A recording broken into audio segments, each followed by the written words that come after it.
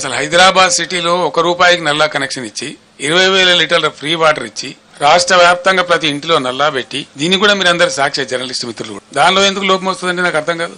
ఏం కారణం? మేము అసెంబ్లీలో ఛాలెంజ్ చేసినాం. నేను స్వయంగా యాజ్ ఎ చీఫ్ మినిస్టర్.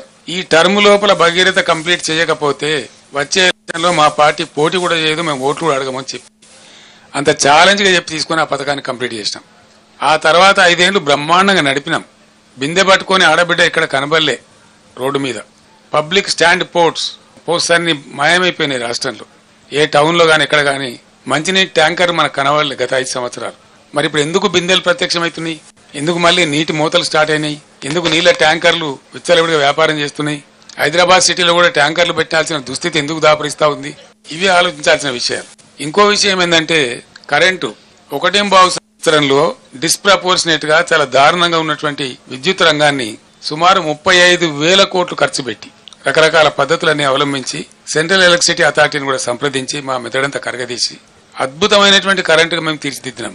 భారతదేశంలో అన్ని రంగాలకు ఇరవై నాలుగు గంటలు ఒక సెకండ్ కూడా కరెంటు పోకుండా ఏర్పాటు చేసినటువంటి ఘనత మా ప్రభుత్వానికి అది మీరందరూ అనుభవించినారు మీరందరూ చూసినారు. ఆనాడు కరెంటు పోతే వార్త ఇలా కరెంటు ఉంటే వార్త అనే కాడికి వచ్చింది. ఇది ఎందుకు వస్తుందండి? నాకు అర్థం కాదు. ఒక సెటిల్డ్ సిస్టమ్ విద్యుత్ అనేది చిన్న విషయం కాదు కదా. నోటి మాటలు కాదు కదా కట్టుకథలు పిట్టకథలు కాదు కదా. ఒక అద్భుతమైన వ్యవస్థ.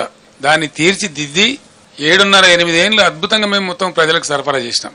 కమర్షియల్ కావచ్చు డొమెస్టిక్ కావచ్చు అగ్రికల్చర్ కావచ్చు ఇండస్ట్రీ కావచ్చు ఐటీ కావచ్చు ఇంకా మరే ఇతర రంగమైన కావచ్చు. అందరికి కూడా ప్రజలందరికీ కూడా twenty four by seven power అద్భుతంగా సప్లై చేసిన ఒకే ఒక్క రాష్ట్రం భారతదేశంలో తెలంగాణ. అగ్రగామి రాష్ట్రం. మరి ఆ రాష్ట్రానికి ఏం చెదలు పట్టింది అలా? వంద రోజులలో ఇంత అస్తవ్యస్తమైంది. దీని ఉన్న త- తమాషా ఏంది కొత్తగా నడిపించేది ఏం లేదు కొత్తగా మొద్దులు మోసేది లేదు కట్టెలు కొట్టేది లేదు.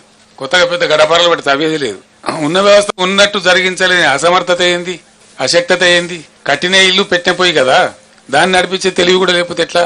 అంటే మనకు స్పష్టంగా దీన్ని బట్టి అర్థమవుతున్నది ఏంటంటే ఇప్పుడు ఉన్నటువంటి రాష్ట్రాన్ని పరిపాలిస్తున్నటువంటి పార్టీ ప్రభుత్వం యొక్క అసమర్థత అవివేకం తెలివి తక్కువతనం అవగాహన రాహిత్యం దేన్ని ఎట్లా వాడానో తెలియనటువంటి ఒక అర్భకత్వం మనకు స్పష్టంగా కనపడతా ఉంది. ఉన్న కరెంటును వాడుకోవడానికి తెలివి లేదు.